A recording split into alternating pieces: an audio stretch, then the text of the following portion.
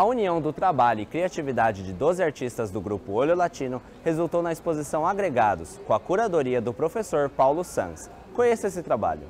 Agregados quer dizer essa união, onde um trabalho pode estar é, junto com o outro e fazendo parte da mesma estrutura. No todo fica parecendo como se fosse mais unificado, mas na realidade cada um cria seu trabalho isoladamente, então agregados quer dizer isso. Nós estamos juntos, né, em termos de proposta artística. O grupo nasceu em 1996 e faz parte do setor de arte e educação do Museu Olho Latino.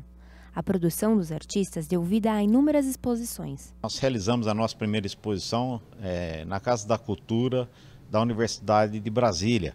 De lá para cá foram inúmeras exposições, inclusive no exterior, várias exposições no exterior, principalmente países latinos. Né?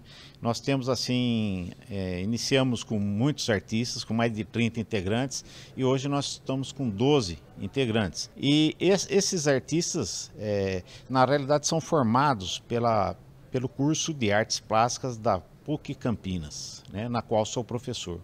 A mostra reuniu gravuras, a especialidade do grupo. Foram expostas gravuras em tecido e mais duas instalações, a preços, com gravuras em relevo e também a instalação Almas.